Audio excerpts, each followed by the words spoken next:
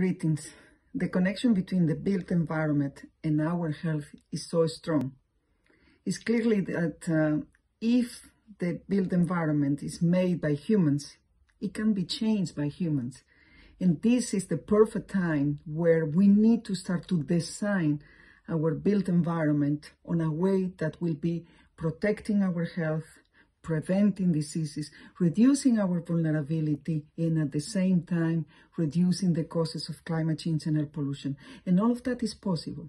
We have tools, we have uh, scientific evidence. WHO has been working very much with other partners on recommendations for healthy housing, healthy schools, the healthy built environment as well.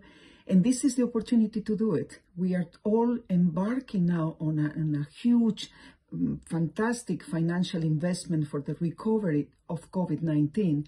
And what in WHO would like to see is a healthy and green recovery, if possible as well smart and fair.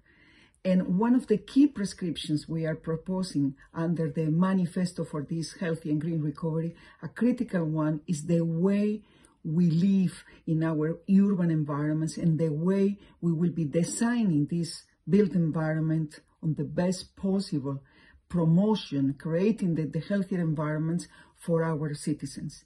I will strongly recommend to have a look at this manifesto and see how can we join in forces because the opportunity now to create something that will be in our favor, in the favor of our health, our economy, and our sustainable development, and not the other way around.